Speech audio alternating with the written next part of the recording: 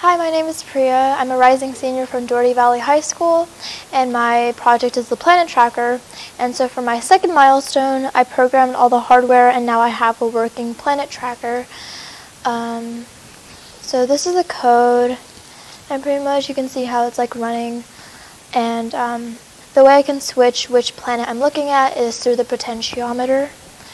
So,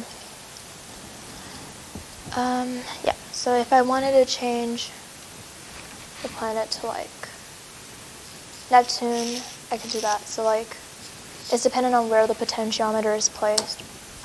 And so um, the biggest challenge was just like uh, the, G the GPS still doesn't work indoors. So I'd have to put default data for the date, time, longitude, and altitude. Um, and so uh, the other part was just organizing all the data uh, just because there's like a massive amount of data. So I wanted to make uh, different function files for each uh, like set of methods that I'm doing.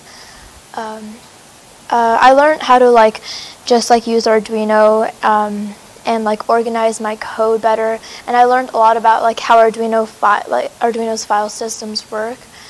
Um, and then for my next uh, step, I'll be moving everything on a perf board and then creating a wooden mount.